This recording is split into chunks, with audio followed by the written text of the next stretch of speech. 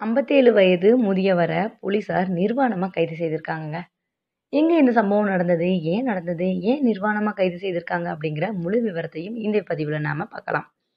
School பிள்ளைங்க ஸ்கூலுக்கு போயிட்டு அதுவும் ப்ளஸ் 2, 10த் படிக்கிற பிள்ளைங்க ஸ்கூலுக்கு போயிட்டு அந்த வழியாக தான் வருவாங்களாம். அங்கே ஒரு ரயில்வே ஸ்டேஷன் இருக்குது அந்த ரயில்வே ஸ்டேஷன் வழியா தான் அந்த பிள்ளைங்க அங்கேருந்து வீட்டுக்கு போகிற வழி.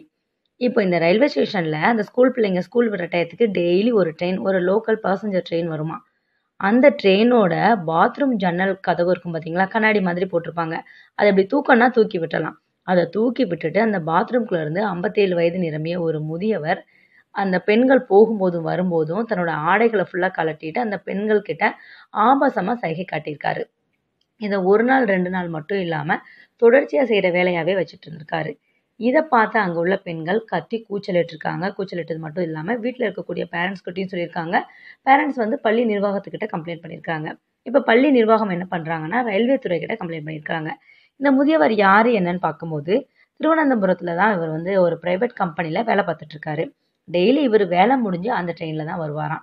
அந்த ட்ரெயினில் வந்து ஒரு நாள் இந்த மாதிரி பண்ணி சோகம் கண்ட அந்த முதியவர் என்ன பண்ணுறாருன்னா டெய்லி இதே வேலையாகவே அந்த பெண்கள் கிட்ட ஆபாச சைகை காட்ட ஆரம்பிச்சிடுறாரு உடம்புல ஒட்டு துணி இல்லாமல் அன்னைக்கும் அதே மாதிரி செய்துட்டு இருக்கும்போது தான் போலீசார் வர கையும் களவுமா அப்படியே பிடிச்சிருக்காங்க அது மட்டும் இல்லாமல் அந்த பாத்ரூம்குள்ளாக வர ஒட்டு துணி இல்லாமல் இருந்திருக்கிறாரு.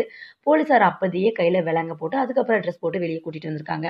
இந்த மாதிரி செய்யக்கூடிய நபர்களுக்கு கடுமையான தண்டனை கொடுக்கப்படணுங்க. பெண்கள் மத்தியில் அதுவும் சின்ன குழந்தைகள் மத்தியில் பா பாலியல் எண்ணங்களை தூண்டுறது, அந்த குழந்தைங்கக்கிட்ட பாலியல் சைகைகள் காட்டுறது, இந்த மாதிரி மிருகங்களை விட்டு வைக்கவே கூடாது.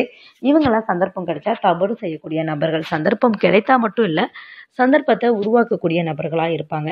இப்படிப்பட்ட நபர்களை வெளியே விடவே விடாதீங்க. தயவு செய்து கடுமையான தண்டனை கொடுங்கன்னு சொல்லிட்டு அந்த பகுதி மக்கள் இப்போ தற்போது தங்களோட கருத்துக்களை பதிவு பண்ணிட்டு வந்துட்டு இருக்காங்க.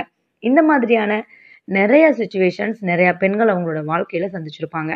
அதெல்லாம் அந்த பெண்கள் எப்படி எதிர்கொண்டு வராங்க? இதெல்லாம் கண்டுக்க கூடாதுங்க. தைரியமா போய் கம்ப்ளைண்ட் பண்ணிட்டு போய்க்கிட்டே இருக்கணும் நம்ம வேலையை பார்த்து.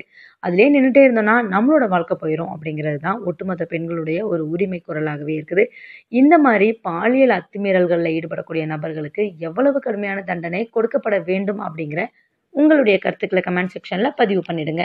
மேலும் பல்வேறு செய்திகளை உடனுக்குடன் தெரிந்து கொள்ள தமிழ் பக்கெட் சேனல்